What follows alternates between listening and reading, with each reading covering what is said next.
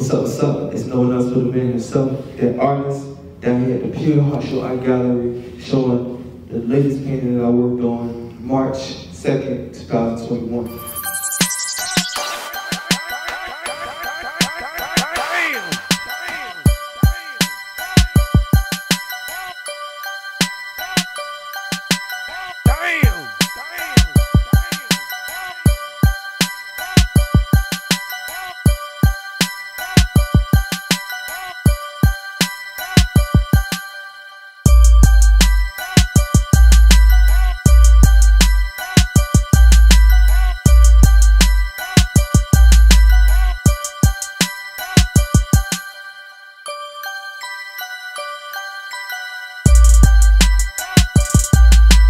Damn! Damn!